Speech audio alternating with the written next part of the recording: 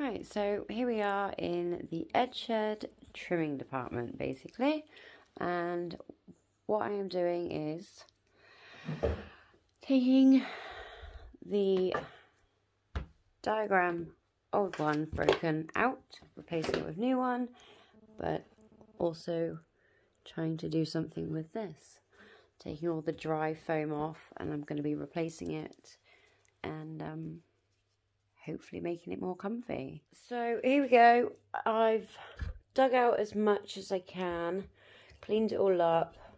Obviously just taken all the um, old crusty um, foam off basically, the stuff that's been on there for a very long time and dried up.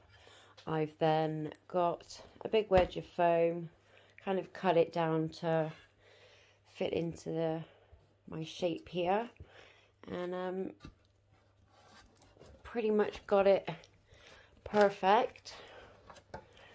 So that goes in there like that. And then my next little bit will be getting this in. And then tidying it up a bit and uh, should be ready for putting it in the car. Right, okay. Anyway, guys, so uh, we've just done this. Now, this obviously is the diaphragms, and you're supposed to take it all apart to do this, but we didn't. And all the foam, the original foam, is really breaking up badly. So we did it, but I'd just like to say it was a fight, and I really hurt my hand trying to pull these in. We did the two side ones without too much of a fight, but getting these, man, oh man, you had to stretch that rubber some. So uh, that's the first one done anyway. So that's the, the driver's side, which is the only one we're worried about for the minute, because we're only going to do the driver's side because we're just, I haven't got any friends. I'm going to go on my own in it. So yeah. Alright, okay, yeah, with no seatbelts though. We've got to get seatbelts in it.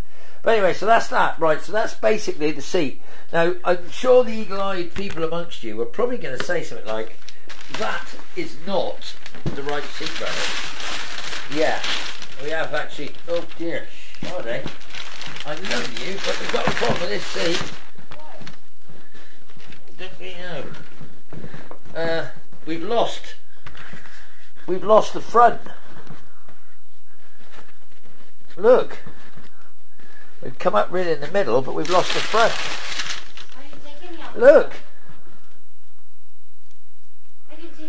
I know, but what's happened is, look what's happened. It's gone. We're gonna have to. We're gonna have to. We have to have opener. We're gonna have to go in there and try to get something in there. We're gonna have to put a piece of foam and bolster across. If you just unhook. We'll have to and then restaple it right here. Yeah. We'll take the cover off and put, take the staples off. We'll have to. Uh, yeah, I found Yeah. a staple gun that works. Yeah, well, this should be. We've got the electric one as well there. Yeah. Anyway, so our foam has collapsed, so we've got to try and get that back up, which is not very nice. But anyway, we listen. We can't. We can't. We can't complain. We'd like to. But we can't. It's not a lot of point.